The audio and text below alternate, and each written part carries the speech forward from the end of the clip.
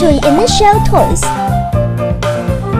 Q-shape, metal shell, movable small part, initial powder, a variety of style to choose from.